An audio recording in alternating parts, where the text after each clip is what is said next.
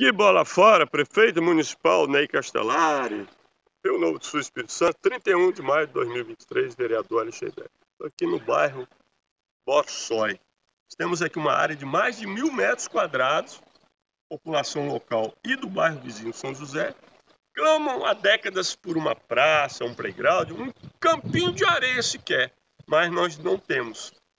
O prefeito Ney preferiu não reformar o parquinho Fué de Jabu, a 200 metros daqui para construir uma brinquedopraça.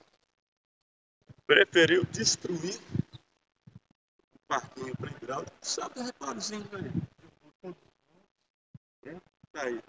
Agora em Sul não tem sequer um parquinho funcionando ao contento. Lamentável a gestão municipal do Rio do Sul tem esse respeito. Triste mesmo.